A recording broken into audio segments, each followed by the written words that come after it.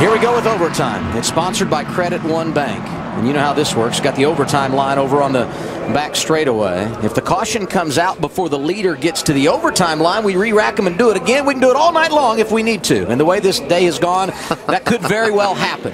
But if the leader gets to the overtime line and then the caution comes out, NASCAR will freeze the field. And as long as you can get back to the checkered flag, you will finish where you were when the field was frozen. Well, it all comes down to this. Ryan Reed chose the outside line.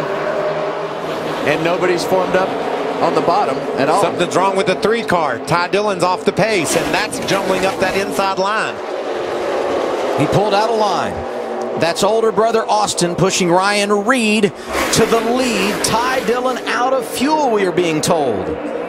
Well, these two look good together, but are they getting too far out there? Kasey Kahne, Brad Keselowski. It's all going to come down how much these guys back in fourth and fifth can get formed because these guys are way out there. But if the second or the third, fourth, and the rest of the pack get formed up, they're going to be in big trouble. Now we see that 88 car all day long being really strong.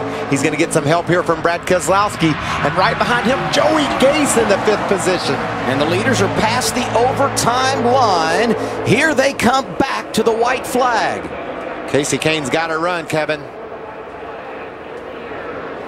Kahne down to the inside. Reed tries to block him. Two and a half miles to a victory at the world center of racing. And now we see the 22. He's on the 88's bumper, so they should have some momentum. It's just a matter of where it times out.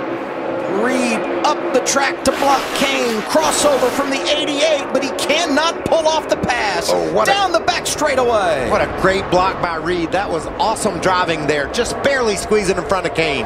Watch Austin Dillon in that high lane. Look at the 52 of Joey Gase right in the mix, looking for his second career top five. The other came at Talladega. Off at turn four, Kahne looks inside. Reed protecting that double yellow line. Three wide as they come through the trioval behind him. Reed looking for the checkers. He's going to get his second career victory at Daytona. And they're crashing as they come across the start-finish line.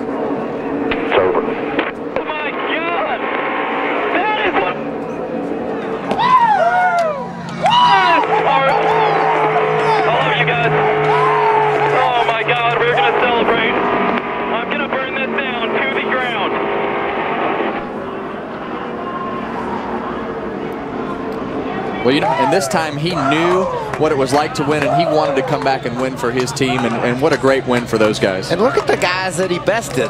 Kasey Kahne, Austin Dillon, Brad Keselowski. The talk in the sport these days is just beat the best. And he did it with a couple of really great moves, you know, really great blocks to hold off and net up. So we will keep our eye on all of those that were a part of that accident.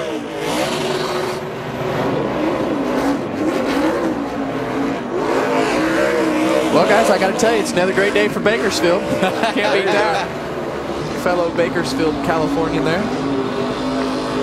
The Chamber of Commerce is smiling right now. That's right. He said he was good. Now he's won twice at Daytona International Speedway. And you know this one feels so sweet. Kevin and I have both been fortunate enough to win here in Daytona, and there's just not a feeling quite like it. And now our post-race coverage brought to you by eBay Motors. Drivers in this one. Ryan Reed had a bunch of them behind him as we went to overtime. Involved in our first accident of the day, kid from Bakersfield didn't give up. And now he is holding the checkered flag.